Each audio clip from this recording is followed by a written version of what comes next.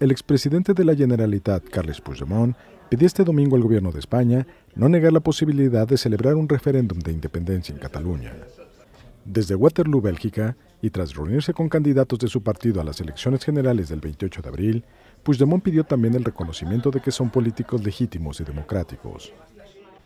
Para poder respetar el derecho de autonomía, hace falta que no lo nieguen. Si quieren dialogar, lo que pedimos es el reconocimiento, el reconocimiento de que somos unos políticos legítimos, democráticos. En cualquier caso, Puigdemont aseguró que las líneas rojas las ha puesto el gobierno de España con el uso de las porras el 1 de octubre y la represión como respuesta. Desbloqueen de una puñetera vez la represión como una respuesta a una demanda ciudadana. A su juicio, las demandas de Junts per Cataluña también están encuadradas en la Constitución española, que a través del artículo 96 reconoce los tratados internacionales como parte del ordenamiento interno.